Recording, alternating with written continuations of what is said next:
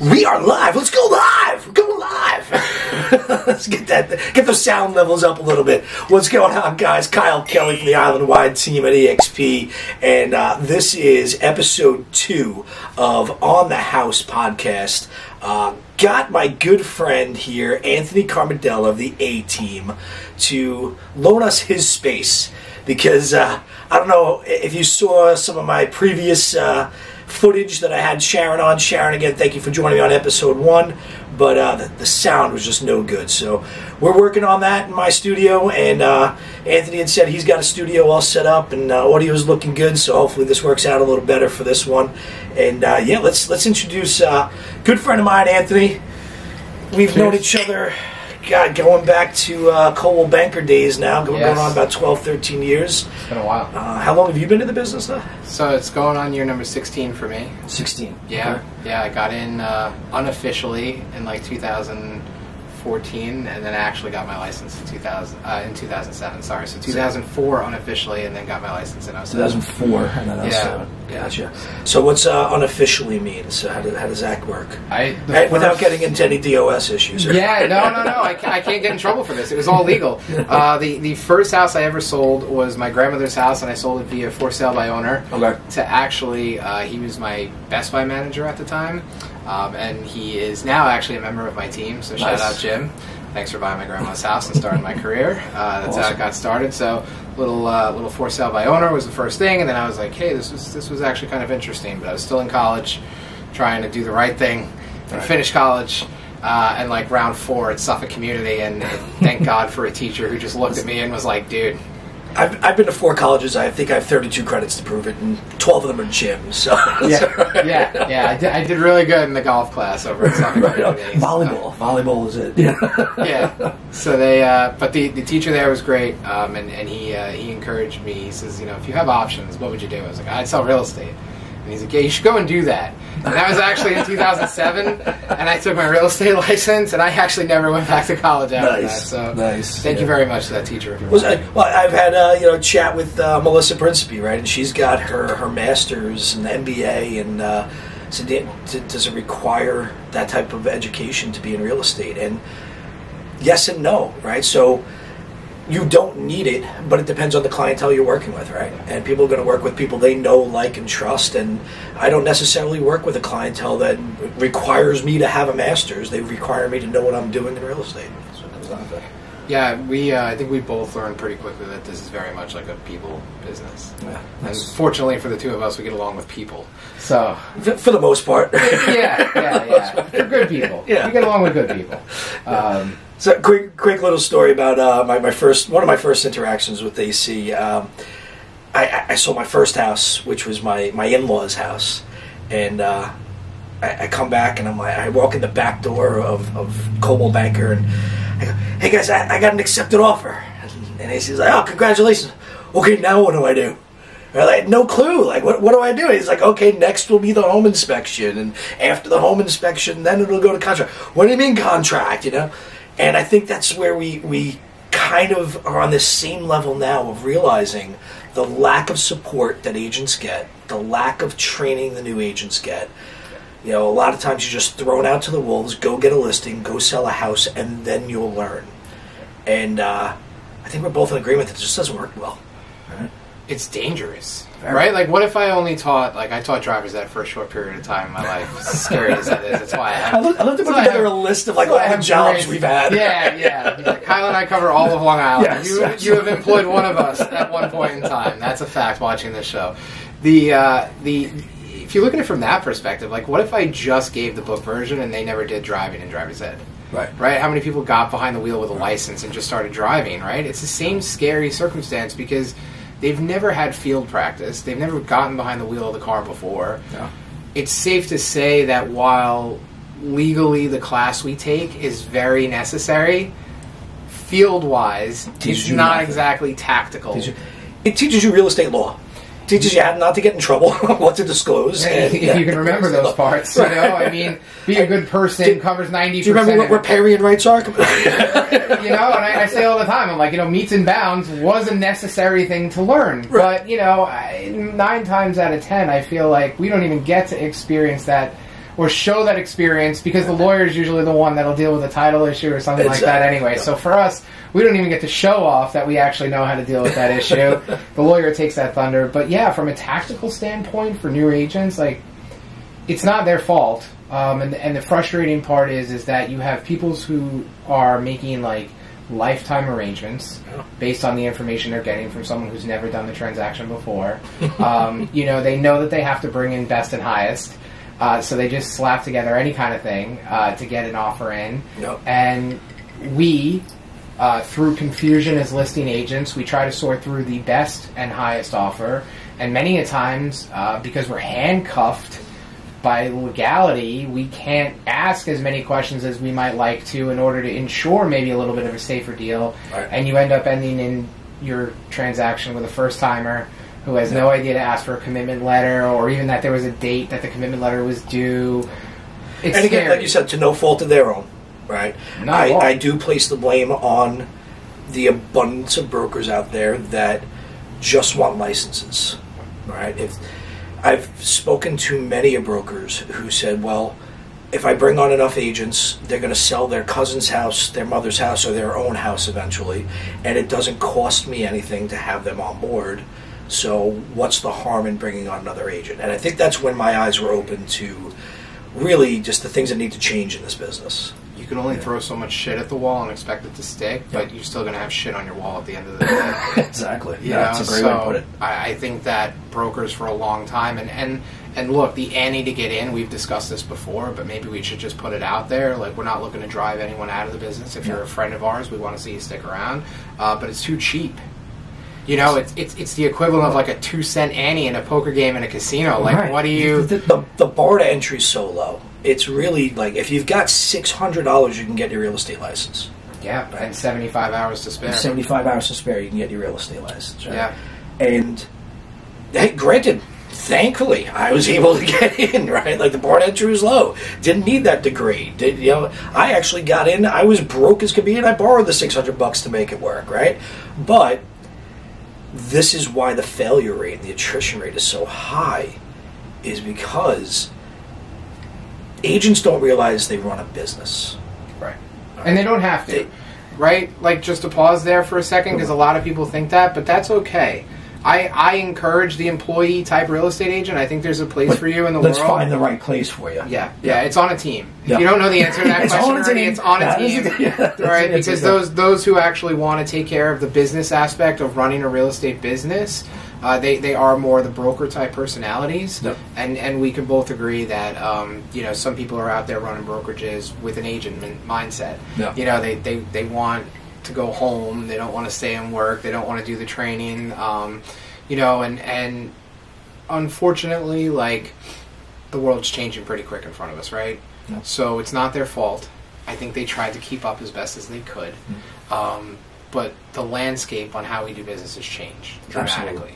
Absolutely. So first you got to teach them all the traditional stuff. And then you have to try to adapt to what's going actually on in the sales world that we live in today. Mm-hmm.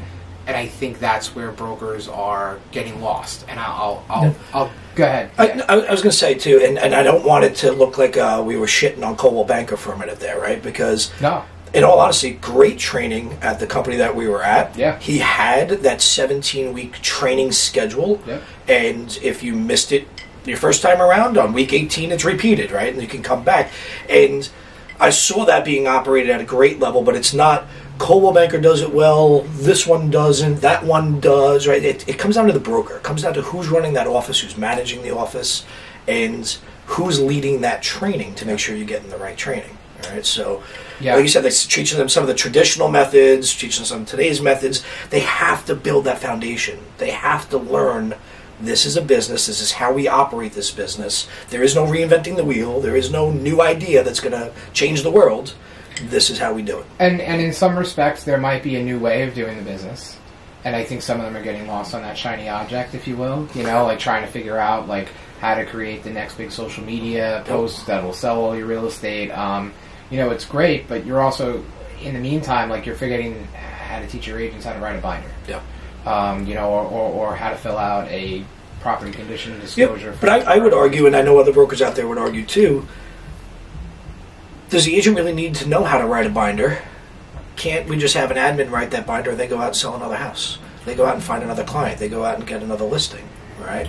Yeah, in, in some ways, I, I think that um, the world of virtual assistants has opened up Yep. a variety for what we can do. I don't know what you're allowed to and not allowed to do as far as the VA If you- if you goes. to be license. yeah, not, yeah. right. For writing that, I would assume that presenting it you need to, but you know, But actually anybody can fill in. Yeah, fill right. It's kind of the argument I make about attorneys all the time in contracts. like, just send it to me. I'll fill in the blanks. Right. Okay. Like, um, but yeah, yeah, we can certainly delegate some of those other portions, but I, I, I, I think what it comes down to for new agents, especially navigating a few things, and I, I, you mentioned before that you started out and you were broke and you had to borrow the six hundred dollars, and I think that. Um, I don't think anyone rich decides that they're that bored that they go and get their real estate license and decide that they want to put a buyer in their car and Right. drive them around because they're that bored.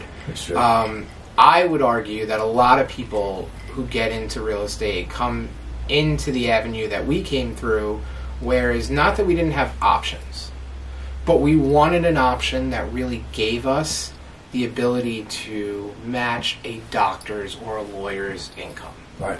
You can't do that as a manager in a retail environment. Right. And when you've positioned yourself for retail for the rest of your life, and sales now opens up a door for you that says, look, you don't have to work behind a cash register and punch a nine to five. There is this world. Let me show you. You make your own schedule, you make high commissions. I think one of the first sales gigs I ever had was uh, selling knockoff perfume out of my backpack. And I remember the sales manager, and that was like little like boiler room, rah rah rah. Stick you in a truck, drop you in the middle of Queens for eight hours with twenty five perfumes in your backpack, Yeah. and we'll pick you up eight hours later. You better have sold them all, right? And here's Yeah. the pitch. But he had he had said something that stuck with me, and I, I was probably nineteen years old when I had that gig, and it stuck with me my whole life. Is 98% of the money is controlled by the 2% of people who are actually in direct sales. Yeah. Right? And that's always stuck with me. Like, sales is where the money is. Yeah. What type of sales do I want to get into? Right. Yeah. And and so the money aspect, um, I'm not knocking any big name brokers. Okay, these large franchises and stuff, they definitely have their place in some communities for some people. Um, but like you were saying before, I think the biggest issue as a new agent that people face is you have to make money. But money for us was described as something different it wasn't just that you earn the money, you earn the right to make more money. Which is really hilarious living in America. Right? Like, you know, I'm like, well what do you mean? Like I can I can earn as much as I want to. Like those commission splits matter. And without getting into like different brokerages, all I can say to new agents listening to this saying to themselves like, Oh God, Kyle and Anthony, do what works for you, but at the same time be conscious of how much money you're actually taking home. Well, I've always said there's room for every model. Every model works, right? The models aren't broken. I remember moving over to Realty Connect, and we'll put it out there. Realty Connect offers 90% right off the bat. Doesn't matter if you're brand new, you've been in this business forever, they offer 90%, right?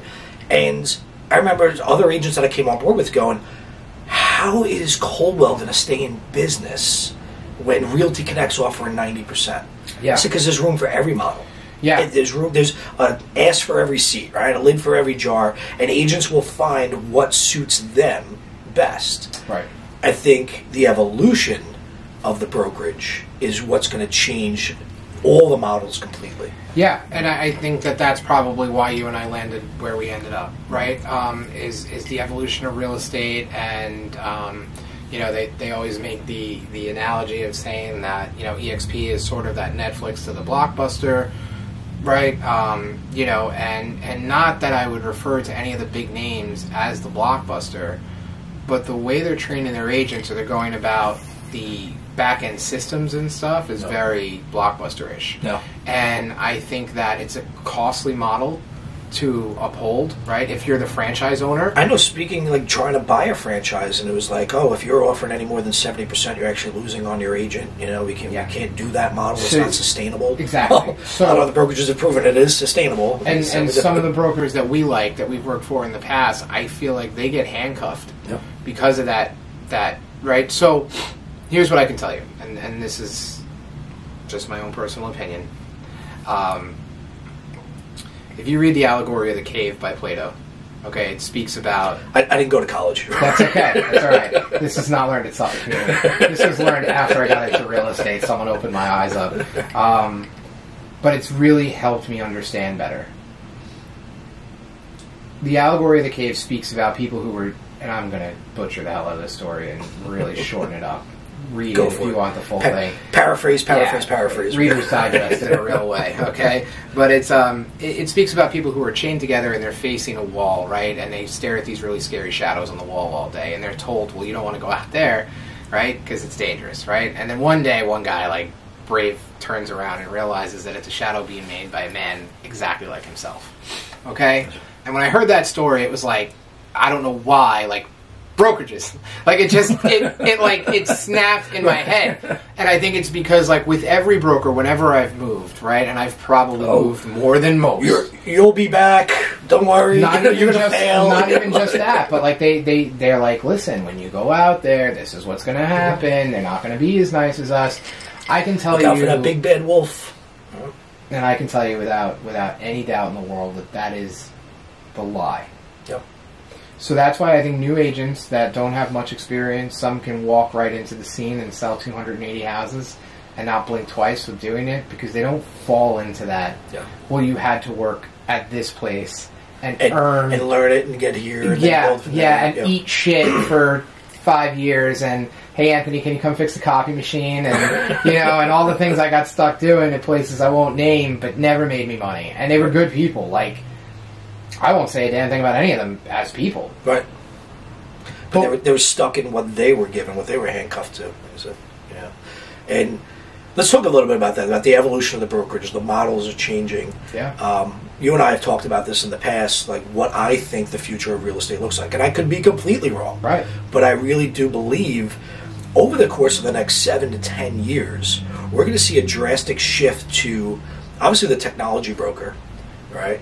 And you look at the- Serhant Serhant just released his own version of EXP World not Right. try Ryan it's uh, been there, done that. We're doing it already. You know? um, no, but I think there's going to be five key players in the game, and I don't want to name them outright. right But I think there's going to be the Zillow esque brokerage. I think there's going to be the Redfin esque brokerage, and I think there's there's going to be acquisitions, and there's going to be you know brokerages that just say I'm out of this. I can't play this game anymore the way it's being played. Um, so I think there's going to be like five at the top. And maybe Realogy, I mean, listen, if you guys do it, you heard it here from me. I just want a little bit of kickback. Maybe Realogy consolidates their five brands and they say, you know, we are just this brand. Right. And, and this is what we offer because I think there's going to be five at the top and I think there's going to be nobody in the middle and then very niche. Very, very niche, small boutique brokerages are going to be the only ones that play their little lake resort town very well or, you know, the, whatever their little niche is. And then the big oligopes just kind of taking over and running the world. You know, I, I guess um, I, I would have to agree with that uh, to some extent because you you know that players like Google and Amazon are looking to figure it out, right? If you can buy it now, right, and put it in your cart on Amazon and Just, grab a house. just before the pandemic, Amazon signed a deal with Realogy, right? And it was like the biggest news of 2018 or 2019 or whenever that happened. And I think people kind of forgot about it, right? We got a pandemic, we got you know, Yeah. you know, some Yeah. other things happened there that Exactly uh, right. Let's not sleep on what Amazon might be doing right now or what Google might be doing right, right, now. Right, right. So I guess I'm I guess I'm okay with it as long as you know Google promises to give me a job in the future. Um, you know, it'd be okay if Amazon wants to change the landscape of real estate as long as they understand that. I, I had this conversation with a buyer today, and she was like, "Oh my God, no one's ever really put it that way before." And I always use the analogy of dating in real estate, dating in real estate, dating in real estate. You fall in love with the house, you fall in love with the person. You date a bunch of schmucks, you see a bunch of crappy houses. Like it just goes hand in hand. And um, she said very plainly that she didn't really have an interest in talking to real estate agents before but getting an actual education on like what happens if you lose your job when you go under contract we can get you your down payment back. We'll get you a denial letter from the bank. Like, then started seeing the value of working with a real estate agent. When people realize the gravity of the purchase that they're about to make, they're always going to look for guidance. And I just don't know that there's ever going to be like the way of the travel agent. I don't know that a button is going to Yeah. replace us. I think we're always going to have a necessary place. It's a relationship business. It's the face to face. It's the hand holding. It's the getting you through the process. But I, I would I would be I would be shocked if we didn't see a company like like I don't want to say Zillow, uh, like Amazon, right? Amazon. This is where I thought because I thought the same thing you did, but I said, what happens if Amazon went and bought all the mortgages? Right. What if Jeff Bezos just got into the business of buying mortgages, and then we got a basic fundamental understanding of the fact that you don't own your house until it's paid off. Yep. Okay, so now Jeff Bezos owns your house. okay, and let's decide you foreclose, and Jeff decides, okay, I'm going to list your house on Amazon. It's my house It's my to house. do that. Right. I am the deed owner of it. Could be a scary future we walk into. Jeff, if- don't listen. yeah, yeah. Could be a scary future we walk into if a company or a person of that magnitude decides to start buying the notes. Yep. Um, until that happens, I think capitalistic America is always going to play through, and a company like ours, like EXP, is able to break 75,000 agents when some people said, like, what the hell are you doing? Right. Um, you know, and then uh, you see bigger companies like Century 21 that have been around for decades. Uh, that are really prevalent in some countries, just not so much Long Island anymore, where they're kind of getting pushed out and Yeah, squeezed that- out. That's an interesting conversation too. Is you know I've I've met agents from all over the U.S. and in some areas C21 is the big player, some areas CB is the big player, other areas EXP is the big player. So there is no it, it is kind of geographic, and I think EXP is really just starting to break into New York. So we've been here eight years, Yeah. but it's really just starting to break into New York and Long Island territory, right? And I think that's the opportunity that we both saw in Yeah. this company coming over. Yeah, yeah, and and and as a as a starting agent, right? Uh, going back to the new agent philosophy, there's so much training, uh, either through EXP World or if you're joining a team or any one of your upline members, join a good downline. Don't join a downline with no training. Um, jo- join a good Don't just join because it sounded good and big. Exactly. uh, get get the training that it offers out of it, but there's so much training uh, coupled with an 80% split for like a new agent, Right. and that's when I think about it and I say to myself like, damn, like too bad something like that wasn't around for like the you and me's of 10 years ago who borrowed the $600 Glenn to get Sanford talking to Ricky Carruth, and Ricky Carruth said, "Oh my God, what am I doing wrong?" And Glenn, Yeah. we didn't exist for you. You know, now now we exist. Yeah, you know. exactly. And and I, I, I look at that and I say like, you know, to anyone listening that maybe money is tight and you're trying to figure this shit out and if you even want to stay in real estate, I'm gonna tell you right now that don't give up on real estate. Change how much you're taking home. Yeah. It'll it'll change a lot for And, you. and change change what you're hearing, what you're ingesting, what what you're learning. Right, like in order to change your output, you got to change your input. Yeah, that, that Zig Ziglar used to say. I mean, this, everybody's teaching the same thing, right? But I, I loved growing up listening to Zig Ziglar. Yeah. I used You have a little know, Zig Ziglar voice going on. I think so. It's, it's got that. zing going yeah, there. It's got that, yeah. I got to add a little southern drawl as I- as I Exactly, continue. yeah, yeah, right? yeah. But yeah, you say in order to change your output, you got to change your input, right? Your output is based on your actions. Your actions are based on your your feelings and your emotions. Your emotions are based on what you're putting into it, what you're reading, what you're ingesting, what you're watching on a daily basis, right? I talk to my team all the time about, hey guys, here's something else I just watched. Here's something else I just read. Here's something else I just listened to. Constantly trying to feed and learn and build. Yeah, the the uh, the block and the negativity is, Yeah. is a tough one for a lot of people. It's not an easy thing to do, um, but it, it's it's so necessary. And I, and, and and you know, even 15 years in, like I still find myself getting caught, you know, the stinking thinking patterns, right? and uh, I, I have a couple of surefire ways of breaking them. Um, you know, if you like motivational stuff. Tony Robbins has never done it for me. I'm sorry, Tony. Um, but Eric He's Tom- not your guru. No, he's not. Eric Thomas all day long though can beat it into my head day after day after Mm. day. Hey, And like ET. Okay. Yep, yep. And Eric Thomas, uh, I, I will put on a little Eric Thomas, and um, I, I will also, I'll watch the news. Oh, And that might seem like bad news, That's the, yeah, that's the opposite of my advice. Because but I watch the news to gain perspective. say, hey, I don't have it that bad. To gain perspective. Yeah, like I tell, I tell you right now, there's always a news article that's worse than what you had happen that day. Unless you I think are the that- news that article. happens to me. driving down the expressway and seeing like an old beat up Toyota Tercel, you know, with uh, the spare donut on the back and uh, grocery bags full of laundry sitting in the back window that you can see. Like, you know what? Like, there's always somebody who's got it worse than you. There's always somebody who's who's not in your shoes. You know? Yeah. It, yeah, it, it gain that perspective. Yeah. right, if that's what you use it Yeah, for. so so whatever you, you know, don't get drawn into it. Don't feel bad for the news. Right. News is the news.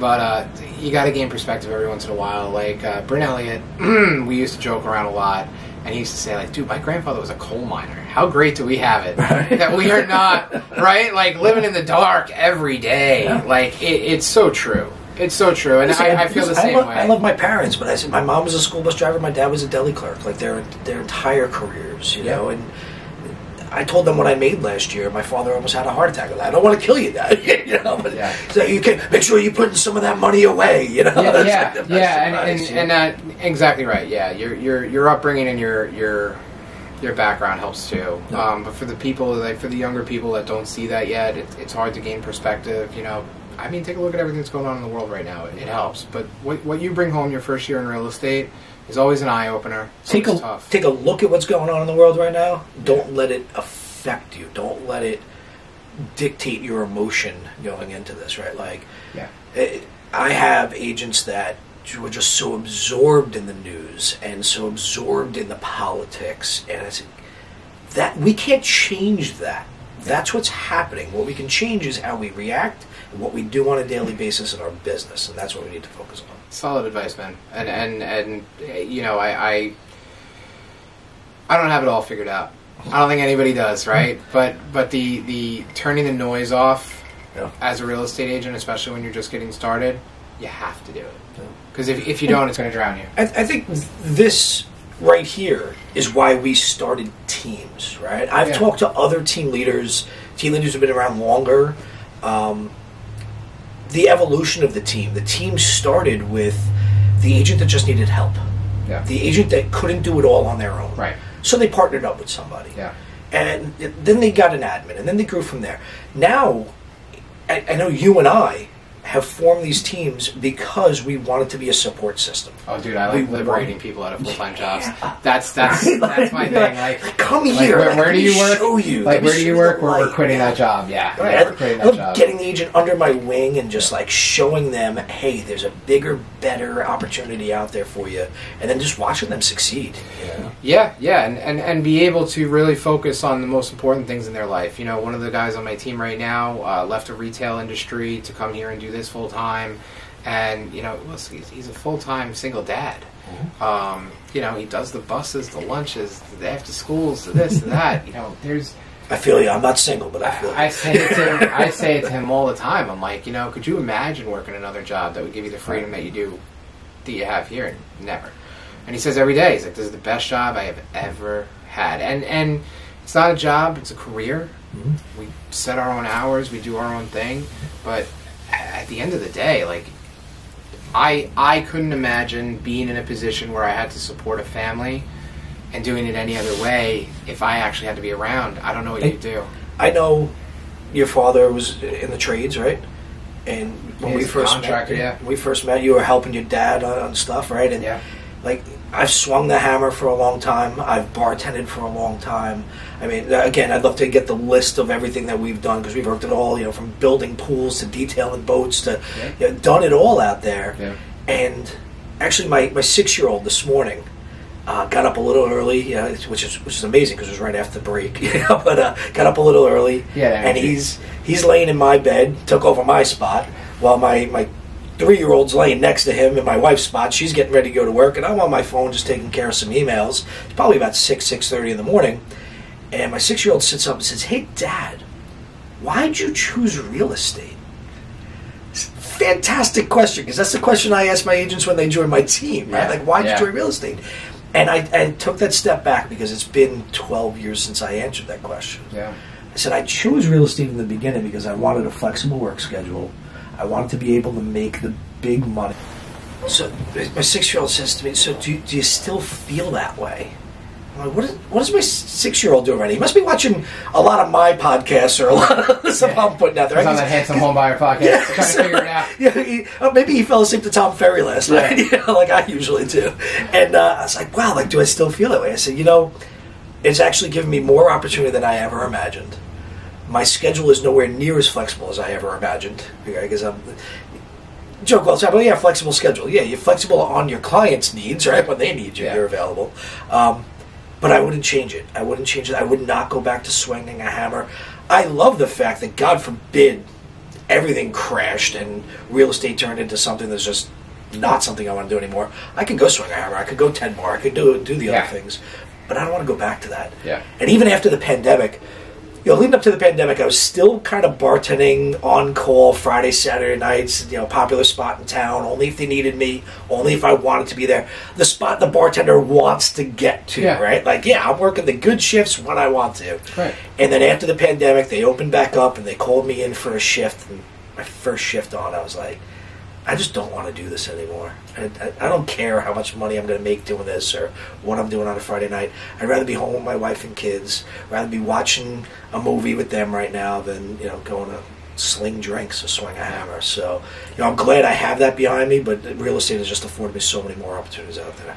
Yeah, yeah, and, and, and I don't know about you, but uh, I, I, I look back and I laugh and I'm like, I wouldn't have a life.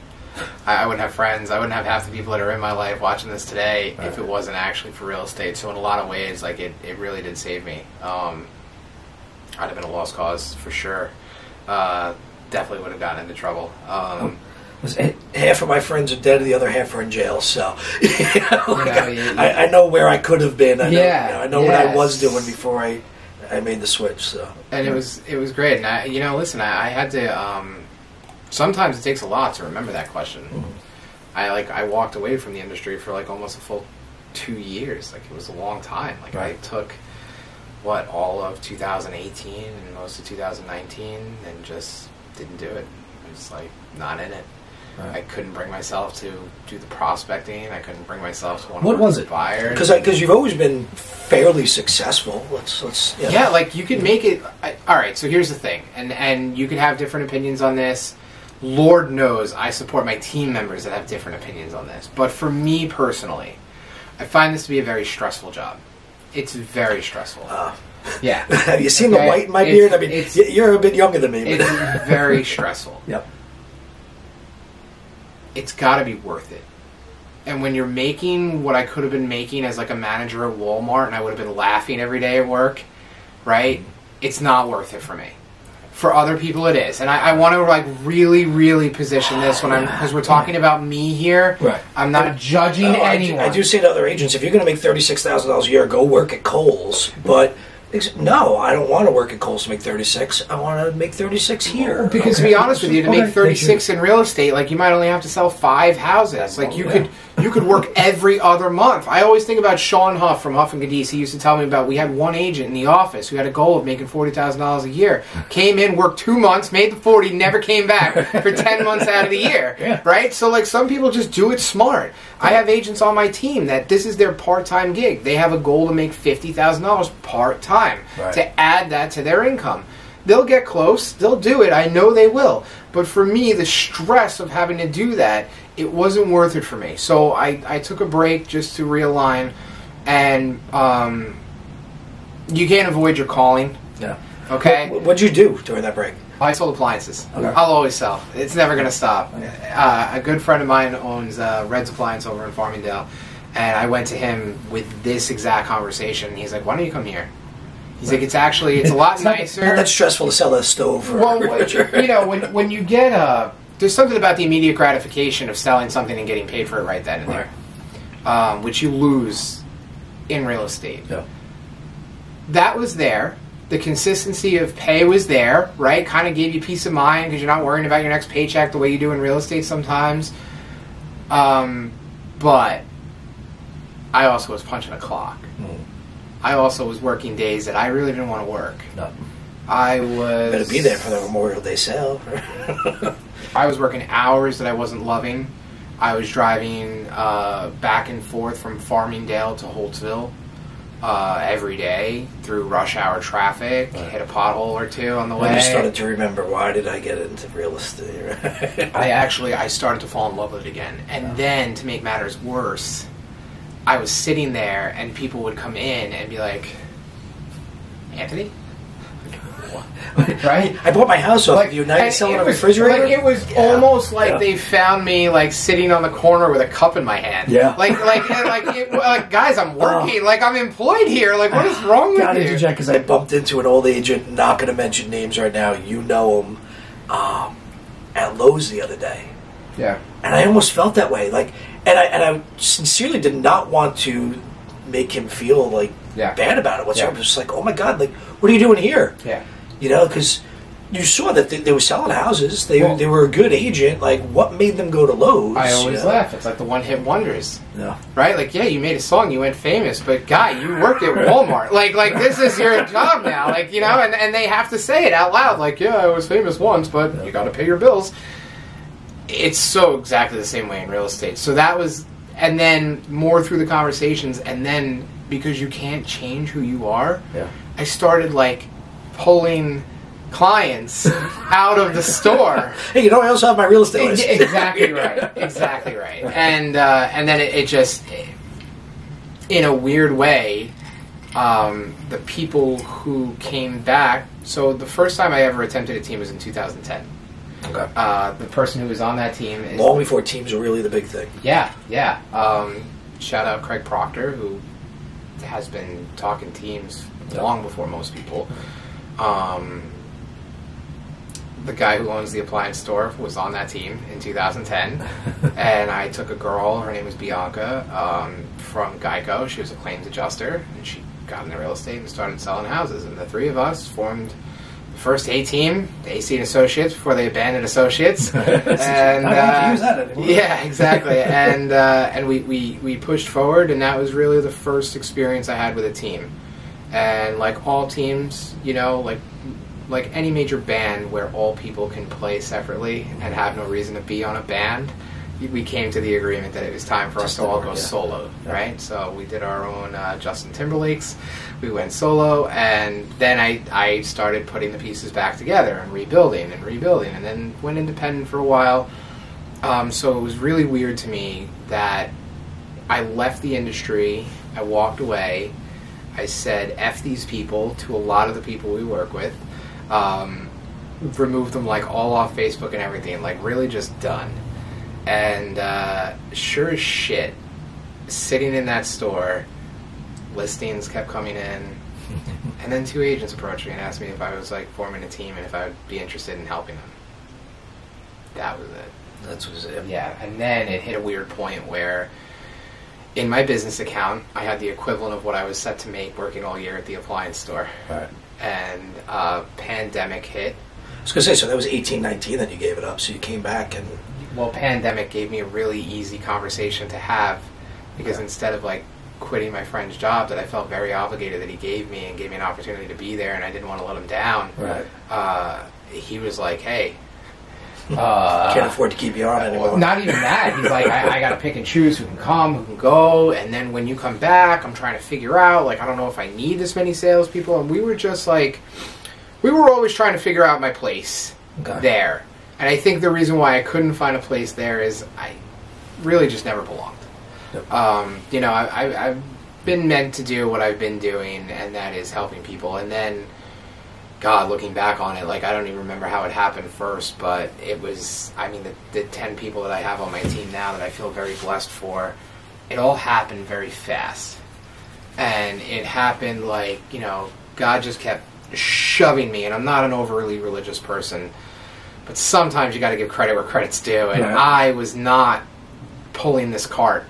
It was being pulled by its own little That's thing, awesome. and you know, said that you're calling, right? Like, isn't that a great feeling, right? Like, wow, like this, this is where I need to be going. not only was it a great feeling, but it was really sobering after he stopped helping. Because he's like, all right, I got you back Got in. there. The door's back open. Yeah. You're either going to keep yourself in here or not. Yeah. And that's when the real work started again, you know. And, and, and as a as a real estate agent, you have to know what that real work is. And, it was- and it was a reset, and you no longer made that Walmart salary. right? Now all of a sudden you, you're killing it. Yeah. Now all of a sudden you're making real money Yeah, in a business that you love. yeah, and I Got got to to show others how to thrive it. I got to call my own shots finally. Yep. You know, if, before that transition of, of moving over to the appliance store and taking that break, I was on teams, mm-hmm. right? And then I was in the position to run my own team, and then I actually had the money to run my own team. And then I got to start making my own decisions and saying like, well, we're actually going to allocate money towards this and, mm-hmm. and that. And as that all started to unfold, I realized like, you know, I'm, I'm living a 10 year old dream at this point, you know, in the way of getting everything to work, you know, having this set up and what we have here today and the agents that I have on my team and the work that we do. Um, you know, it's, it's surreal to me still. I still actually don't know how I keep up with my Well, monthly because you, just- budget. you just put your head down, I- you work forward, and you just. You just I don't. I don't know how it works. I, I am. I am still at my core the guy. we said something there that you, you had the money to be able to do it, right? Because I think what a lot of people aren't realizing is a team doesn't just mean a couple people working together, right? it could. It could. It could, but without resources to run a business, A it's hard. true team, in my opinion, you know, we're- we're talking our opinions here. There's a leader. There's a budget.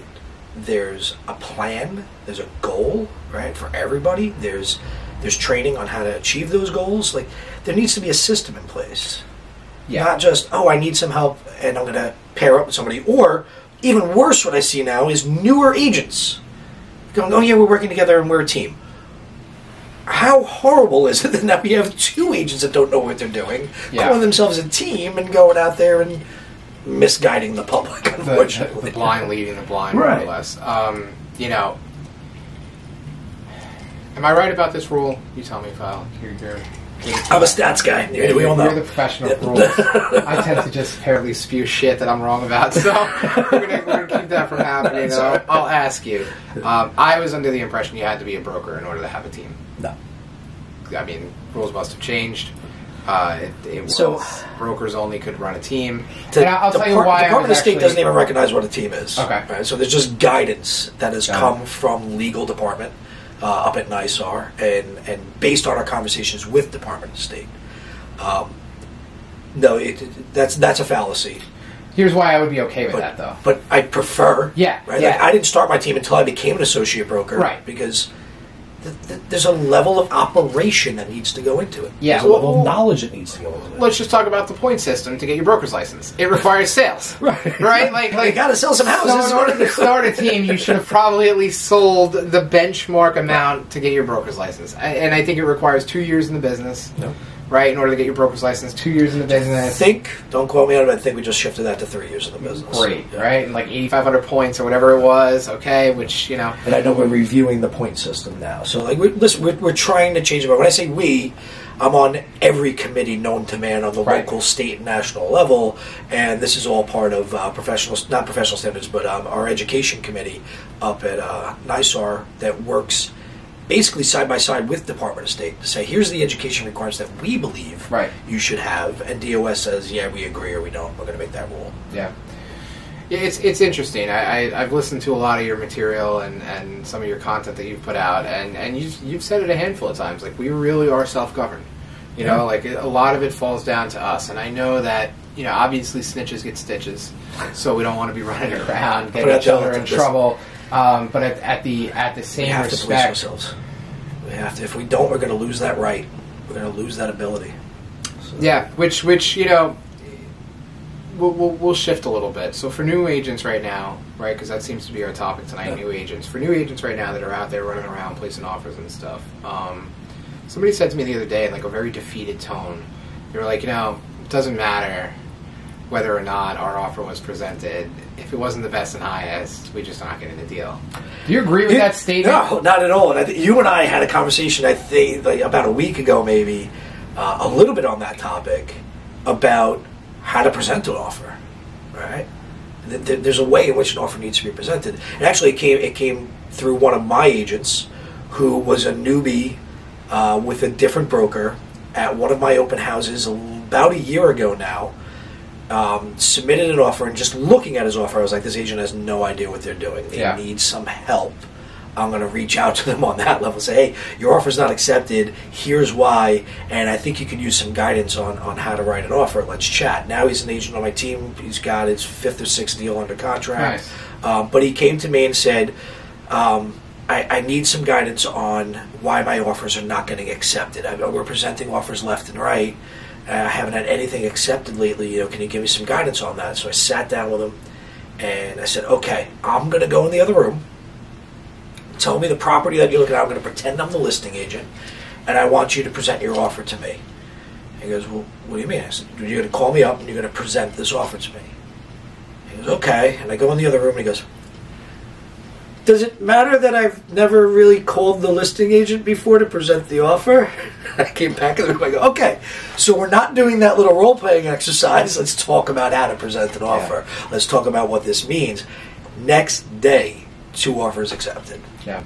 All right. Yeah, so yeah. So if you're a new agent, how are you presenting this, that like, offer? guys, don't just email us your your your offer. Don't just push send on the email and assume.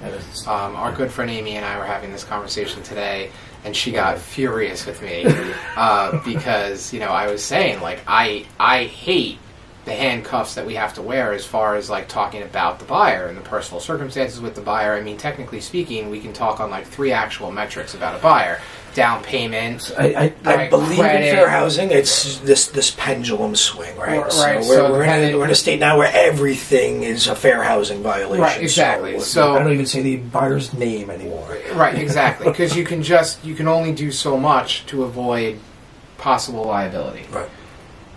Obviously, her and I, and you yourself, we don't agree with all parts of that. We do do the right thing though.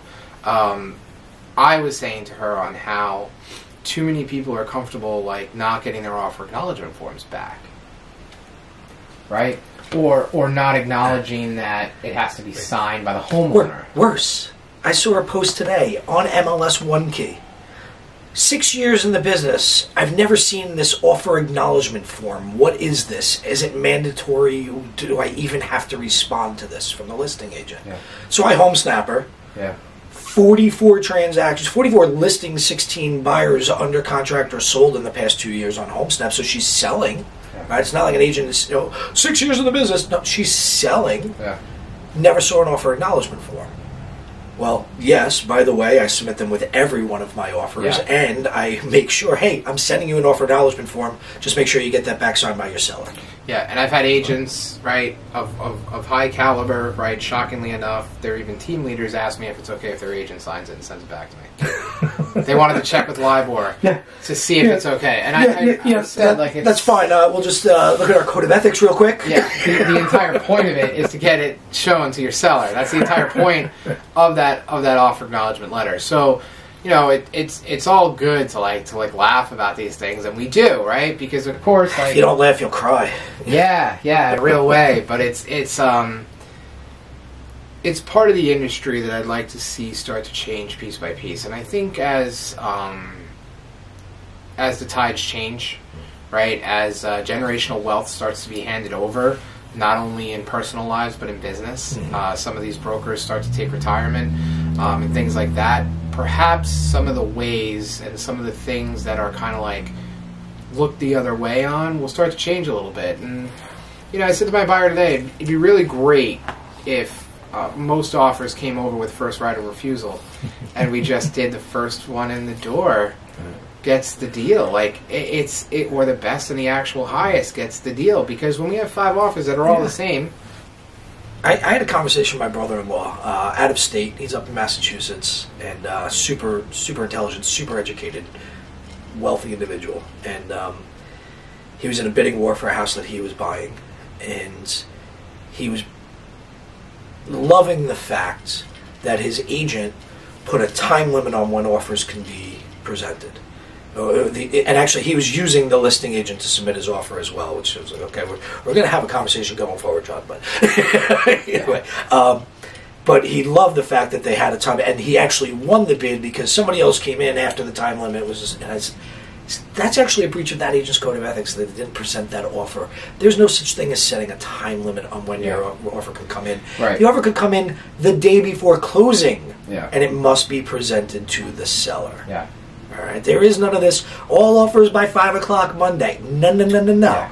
By code of ethics, must be presented to the seller until Yeah. closing. And I, I mean, I have in my phone still, probably in my saved screenshots, the text message from an agent saying exactly that. Right. You know, offers due by Monday evening. I'm on the phone at 6:30 on Monday night, by the way, and she's like, "You're too late. You're too late. You know, and I'm and- too late. yeah, okay, yeah. let's go have a conversation with the seller. Exactly. Make sure they don't want to see my offer. Exactly. So, you know, I mean, to those agents out there that are taking the shit, don't. Definitely stand up for yourself. Definitely stand up for yourself. Thank you very much. Kyle was nice enough to bring us a, bottle- a bottle of Cosneos. I know you're the tequila guy. I am I'm, a whiskey guy. tequila guy.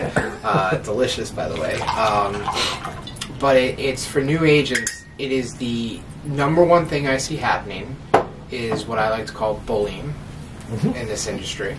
Bullying the new agents, Absolutely. bullying them out. Nope, your offer's not going to get. Nope, we already got. Somebody said today, uh, we've already got you know 15 offers, hundred thousand dollars over asking price. That's nice. Awesome.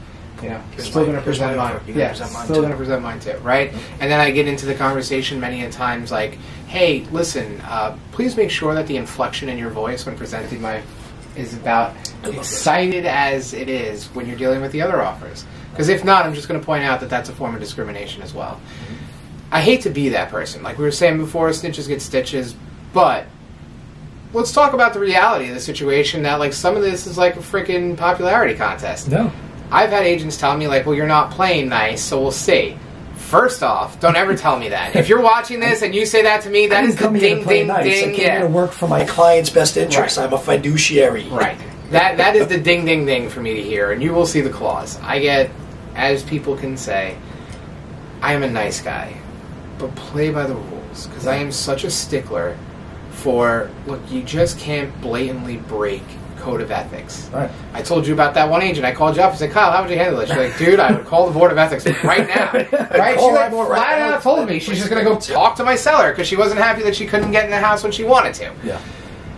It's got to stop, right? And, and you started this with the the generation of brokers out there that hopefully will be starting to leave this business that aren't giving the training, aren't giving the right guidance to their or better yet, governing these issues. yeah.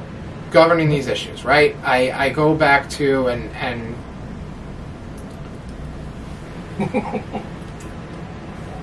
Cheers. We're trying we're trying to bite our tongue Yeah, here well- and not throw no, no, anybody this, this under topic, the bus. This is a topic I think we could actually say tonight, though. I think we can. It depends Uh, on how many more of these we have. Yeah, We'll no, no, have I- to talk about. So. I've, I've had enough to throw this one out there, though. Do you know what I'm most shocked to say That all the doors are still open to most of the brokers that were involved in the serious racism scandal that was sweeping across Long Island that Newsday felt the need to do an expose on.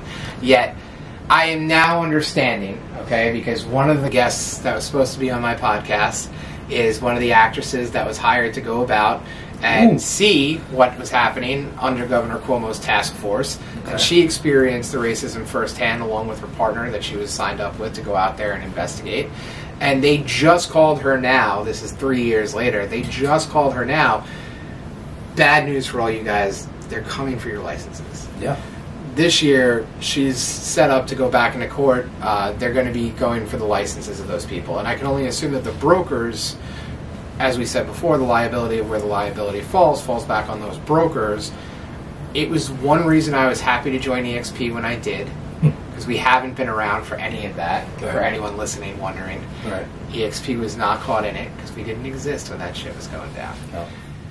The brokers that did though, that just turned their back and said like, "Oh, that's bad." What'd you do? Right. What kind of restitution was made for those buyers No. who were?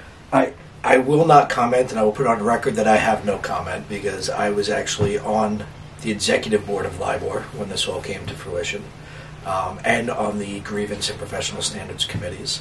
The one thing I will say is, rightfully so, our professional standards committee said we cannot hear any of these cases. They must go elsewhere. They must go outside of our board so that there is no favoritism, there is no judgment coming from our board. So it's being reviewed by professional standards committees outside of our board, and this is why it's taking some time. And the pandemic, Yeah, obviously. obviously, yeah. But this is why it's actually taking some time to finally come down because I've actually spoken to, and not in length, but have spoken to some agents on professional standards committees outside of our board that say that they're reviewing some of these things. Like, oh my God, what happened there? All right. I actually, I have my condo down in South Carolina, and my super in my condo uh, was getting his real estate license down there. And we got to talking a little bit, and he goes, uh, "Oh, Long Island, our entire ethics portion of our licensing class is on the Newsday article." Right? This was a big deal that too many are trying to sweep under the rug. Yeah, and So, so didn't take action on. So I I only bring it up because I'd like to lump it into the same boat that says there's 31,000 of us because fucking half They're of us 38 haven't- now. Yeah, well, because half of them haven't been caught. Yeah. Okay, and and when their day comes and the LIBOR numbers, just like they did in 2008, drop below 20,000 again, which they will. I think that more new agents can start coming into the, the community, and I hope that if 20,000 of those licenses go missing, I hope a portion of them are people who hold on to these ideologies that, A, this like blue wall of silence nonsense that people try to do with one another regarding each other's offers and oh that's my friend they'll try to get their buyer in guys do the right thing you're gonna get caught Oh. you're gonna get caught do the right thing Always, we have a code of ethics for a reason. We subscribe to a code for a reason. We are realtors for a reason, not just licensed salespeople, not just a real estate agent. There is a difference for anybody in the public that's watching this between a real estate agent and a realtor. Yeah. All right? And and the fact of the matter is, too many have never even seen the code of ethics outside of their licensing class. I have it hanging on the wall in my office, hanging up I- behind me in my home. we clearly don't have it here but uh, but the the the reality is is that I, I that is the one thing I'd like to see for new agents new agents coming on and I think that is exactly like you said before it's the reason why we chose to run teams Yeah. It's the reason why we chose to help people get a better understanding because, you know, if I can make just the tiniest bit of difference in what happens in the next 30 years in real estate, be different than it was in the How, last how do we 30 clean it years. up? Well, it's going to start with agents like us and one agent at a time. And That's how we education. clean it up. And education. Listen, you educated me on like three or four different things tonight that I had in my head a completely different way. It's about having the conversation about it, getting the dialogue out there, and understanding it from a different perspective because it's not all black and white what we do. Right. For the most part, a lot of it is. Um, but A lot of it goes actually states right here. yeah, yeah. That's what you should- but, but but many of how to teach it is gray. Mm-hmm. You know, like the the subject material is certain black and white. Do this, don't do that. And- But I think uh? NYSAR took a big step last year, and we've eliminated the grandfather clause. So, brokers used to, if you were licensed pre such and such date or been licensed. 2007. Yeah, I know it because yeah, I got my license in 2007, and I was like, no. Uh, uh, well, put it this way: I was licensed after that, so it didn't fall under it no matter Yeah. what, right? But yeah, if you were licensed as a broker pre two thousand seven, you did not need continuing education. Yeah, scary thing. So the first they implemented, you must at least take the three hours of fair housing and code of ethics. Okay, we got that. Now we finally eliminated that grandfather clause. The, the sidebar to that is most of those brokers now will be out of the business anyway, right? So, but we, we eliminated that where all brokers must do 22 and a half hours of continuing education just as every other agent out there does. I was shocked that they didn't force them to do what I had to do, which was to take the 30-hour gap Did the course. 30 hour gap. Right. You know, I just- do it. Two years ago got my associate broker's li- my broker's license. I'm associate broker now, but I had to do the 75 hour class, not the four or the 45 hour class. Not Yeah, yeah. So when I took the 45 licensing, so I had to take the 30-hour gap and then the 45-hour broker license course, right? So we're increasing. We're we're trying to raise the bar by increasing that threshold at least. The education part of it, and then the ante, and right? We said the ante. If we Yep. Up the ante. Listen, It's- I'm a it's proponent, and, and, and you said no, and other agents have told me you got call you crazy, but I'm a proponent of make it ten thousand dollars a year to be an agent. Yeah, ten thousand is a lot. I don't think paying I think that. ten thousand dollars include a lot, include yeah, okay. the continuing ed, include Okay. a lot of the services right. that are ancillary, right? Yeah. But at least at a level, like after you've been licensed for three years, here it is. Because the argument is, oh well, then the bar's too high, and you're you're eliminating people's ability to get into the business. And, okay, no. So after X amount of years, here's what it costs you to remain in business. Because, God, we'd eliminate eighty percent of the licenses right there.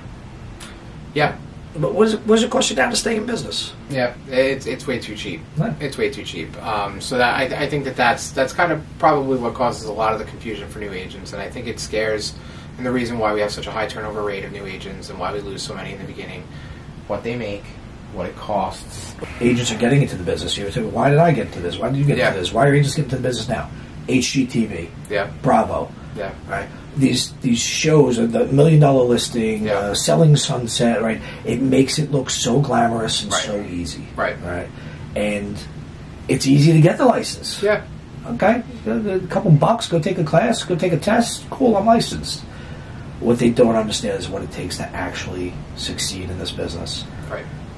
There are 38,000 licenses on Long Island right now. Yeah, When I was looking at the numbers recently, less than 1,200 of those licensees sold more than eight houses last year. yeah. Which has always been the stat, though. If, if you sell like- eight houses, you're making thirty, forty thousand dollars a year, right? So, yeah, with your average splits out there, right? There are thirty-seven thousand licensees out there selling less than seven homes, and half of them actually have never even sold a home. Yeah. Right, so there's nineteen thousand of them don't even sell a house. It's the numbers are staggering, and when people say there's a lot of competition, so no, there's not. There's no competition. There's a lot of agents, but there's no competition. Right. Right? There's very few of us at the top that are actually succeeding in this, Right. And then building a team under us and showing them how to be successful in doing it. Right, right, and and and I, I like to I always like to look at the generational standpoints of people and things like that. We're very close in age, um, but then there's gap. It's like Yeah. a twenty. It's like a twenty year gap. Thirteen years ago, when I got into this business, the average age of a realtor was 57 years old. I Yeah. think it's down at 52 or 53 now. Yeah, and, and still I mean, kind of high. if you actually look at the producing agents, it's probably a lot younger. it's probably a lot younger yeah. in the production side. Yeah.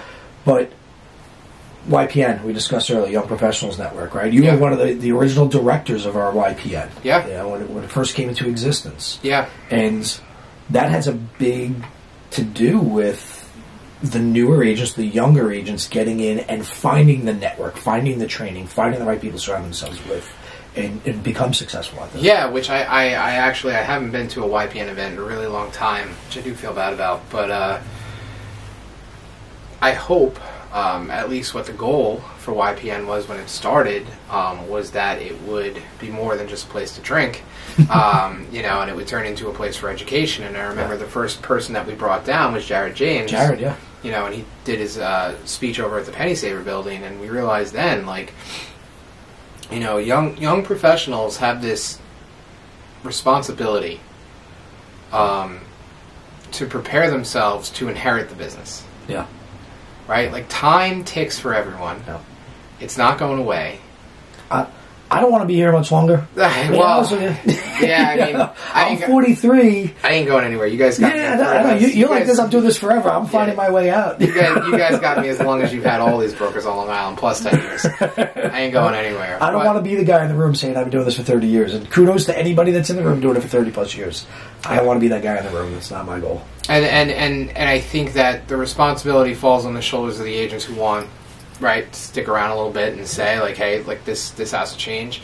But the, um, just the evolution of time is going to change the landscape of the brokerage on Long Island. So, if you're a younger agent right now and you're picking mentors and people to follow and team leaders and stuff like that, like, I've met a lot of really great people in my 15 years in this career.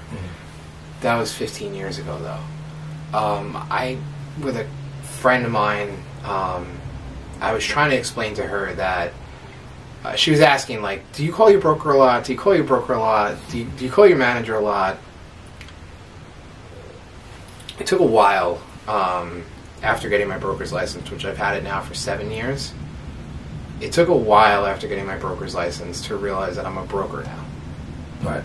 And I can only imagine it's kind of like what it's like being a student teacher.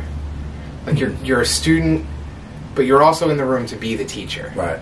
And even though you're the same age as the people that are on the other side of the desk of you, that you're a- attempting to try and teach, you're the teacher in that teacher. capacity. And you might not feel it that way yet, but you are. And the knowledge that it took to get there, you have it.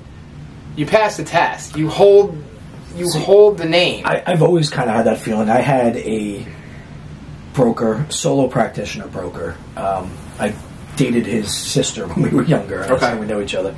Um, always reaching out to me, asking completely. You know, he, he's got his own solo practice going on. I was with Coble at the time, right, asking me some advice on some stuff, and which you have done, other agents have done. I love being that source of information Yeah. because I am the guy that's over involved. Um, but we got into a discussion one day, and he said, "How come you're not a broker yet?" And I said, "I don't know. Like, you know, I I don't know if I really should do that." He goes, "Kyle, you know it all. You you have the ability to do it. Why don't Right. you just do it?" And I always felt like, "Oh well, you know, there's got to be somebody that I could turn to. There's got to be somebody that I could turn to." Then I started realizing my broker was turning to me, my manager was turning to me, others were turning to me. I said, "Yeah, I, I need to become a broker. I just didn't want to own the brokerage. Yeah. I, I, I don't want Yeah, li- liability is So, not yeah. an interest for most people. I don't. so I that's, that's landing at. EXP was was the great fit there because Yes. I could do what I do and not have to own the brokerage, right? Um, but yeah, being a teacher, realizing you have what it takes, you have the knowledge, you have the ability. You do I turn to my broker? There may be one or two things every now and then I got to turn to my broker for just to clarify. If not, I'm turning to legal over at NYSAR. I'm turning to the president of the association Yeah. and saying, "Hey, you know, these are the people I've surrounded myself with, so I can get the answers from the right people." Yeah, But it's it's only because they're still there to turn to, right. Right? And and when time takes its toll, and the sun just turns a couple times more, um, they won't be there to call anymore. Uh, not that I don't. Not that. And, we'll be the ones that the next generation's calling, right? yeah, yeah, by by by order of operations, right? Um, so I have, after realizing that, I've just felt very responsible because a lot of people share my friend's mindset in the way that they always feel like they're going to need to call the adult in the room. And uh, when you're in your 40s, still looking for the adult in the room. It, I am though. it doesn't take yeah, it doesn't take long to realize around, I got shit. I'm the the adult, in adult. the room. Um, I'm the adult in the room. So, so that that that was my that was my biggest takeaway recently actually is that um you know not not in a disrespectful way in a very appreciative way in a very hey i hope that even after you leave the business and i run into this scenario i can still call Yep. And say hey did you run into this when you were in my position what, what, what did you see but better yet um, like a lot of things in life it's left open to interpretation and how we're interpreting how this business should be worked is going to have a ripple effect in how it actually works. So I'm hoping that some of the issues we outlined here tonight that could just be frustrations and things like that, um, I think they're going to disappear. I think they're going to disappear because I think as we start to simplify and apply a little more common sense logic, which our generation has a lot of it, um, we agree on the things like um, I always everyone knows right the language we're allowed to and not allowed to use in a listing right? It's some of the most ridiculous Ho- ho- things. hopefully. right? It- yeah hopefully. Right? But to use the example that always comes to mind because it's always my homeowner's request to like oh can you just put walk to beach? Yeah. Walking Right. distance to the beach. right? And and and with no res- no disrespect to anyone who's handicapped and unable to walk, I want to know from their perspective: Does reading that sentence really set Make them, them feel off? like they are being discriminated against. yeah, right? really set them off to a point where they like feel like they can't buy that house because they won't be able to physically walk to that beach. Right. Because in my mind, And then we start trying to get creative. Stones throw. Yeah, what if you nearby. can't throw? If you don't have arms? What if you don't have stone? Right? We can go down this all day long, right? Um, but I actually, I, I say to myself, like, isn't it discriminating against the handicapped person by assuming they don't want to stroll down to the beach? They may not be able to walk to Right. do it. But walking is what we say when it's in close proximity. So of course It's- we could reuse the language. It's the hey guys, how you doing, right? Guys and girls, we say hey girls, guys. right? But- people tell me, oh, you should say, say hey guys. It's a group. growing up and going through English, I remember that you know he was used as a dominant form when describing anything, whether it was girl, a guy, or girl, right? Um, so. I, I hope I hope that you know we can turn into a society that eases back on some of these things, especially as a real estate society, and we say let's apply common logic to some of these things.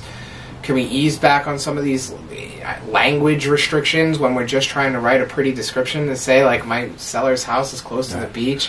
You know, like we, we and a lot of the public doesn't realize the things that we can't say, the things that we can't do. How come you didn't put this? How come you didn't say that? Well, because I actually can't. So we have to have that discussion with them too, what our limitations are and how we're describing a property. Right. So It's- so that that that's the kind of stuff, and I think it applies and to if you've had a deal fall apart lately because we got a buyer that was the best and the highest, but the deal didn't go through, go through. There's that's a result of us not being able to look any further than the surface because Yep. a risk of possibly breaching liability and, and that person's like uh, you know privacy Right. so it's so frustrating for us as the agents too and i hope the consumers out there understand it and i hope the new agents understand that like people that are on the cusp of possibly being the future brokers of tomorrow Kyle and people like Kyle, they lobby up at the state level and they get involved in all these different organizations because you can't make impact on these issues without being where Kyle is on the ground level. So, Well, the two things that I always say. Number one, you're not the future of this business. You're the now of this business. yeah. You're in this business. So anybody that's telling you, oh, you're the future of the business, future brokers, yes. Yeah. Future broker owners, yes. But Yeah. you're anybody that's saying, oh, you're the future of the business. No, you're the now of the business, Yeah. and you can make an impact now. Two, agents, brokers, family ask me all the time, why are you so involved on a volunteer level? Why do you go? My wife says, I don't see other realtors having to go up to Albany or going down to DC or, you know, I don't see other, and it's, yeah, and other realtors aren't as successful as I am, they're not as involved as I am, they're not as passionate as I am about it. And my stand, standpoint on it is, if I don't have a seat at the table, I'm on the menu. And I don't want to be the agent in the office bitching and moaning about a rule that had come down or something that had passed without knowledge of what the conversation was. I want to be in that conversation. I want to be making that decision for our industry because I'm the now of this industry, Right. not the future of it. Right. Right? And that decision is going to affect my brokerage, it's going to affect my income, going to affect my livelihood. Right. I want to be there to make the decision. Yeah. That's what it comes down to. Valid point. So Yeah. I don't know if you were trying to push there for uh, you know invest or you know, get involved, but absolutely, like this this is how Absolutely. I, I mean, listen, got involved and got surrounded by other like-minded people. the two of us took took similar but slightly different paths in getting to where we are now. Um, you know, the the political version of what we do has its place. It has its necessity. It's got. I mean, they need people to get involved. The And then- core value of the organization is advocacy. Yeah. Is advocacy for home ownership, Right. for homeowners' rights, and to protect our industry. Yeah. That's the core value of the association. Yeah. Be part of that. Yeah. Especially if you want to have a job in the future. Yeah. We're not doing it for us. We have our job. Right, we We'll have be a job. We'll be I gone by the don't want to be here takes- ten years from now. I've got a plan to get out. this, this, this all you know. This all depends on you guys. Uh, Yeah. You know, take, taking the taking the wheel over from there, and I, it's, that is the way I see it. You know, and that when I got back into the business after a while, it, it became really clear to me like you got an understanding of this business, and you have the ability to do it, and people gravitate to you and you for that information, and um, we found our place Yeah, for sure. I love where I am, and let's do another one of these and talk about how we get out of this, or how I do. And you continue Absolutely. it, continue that torch, right? That sounds good. Cool. That sounds Thank- good. thanks for the use of your space. Hey, listen, appreciate abs- it. absolutely. We'll get my studio up and running together. Bar's always Really open, as we know. Yeah. Um, We'll be putting together uh, some of the real estate agents and golf carts drinking Bloody Marys again, and uh, get you out there swinging the golf clubs. too. sounds good. I'll embarrass myself on the course for everyone's pleasure. The, the editing, magic of editing. yeah, yeah, that's perfect. Except for when I played against Dan O'Neill, I really did put up a good fight. I- the wheels just came off on the eighth. I believe it. I believe it. You know what we should do? We should do. Uh, we should do twosomes. We should do like a foursome. We'll do a foursome out there, Do, yeah. do two versus two. I love it. That'd be fun. Cool. Cheers, brother. Cheers, man. Thank On you. the house. Follow Kyle.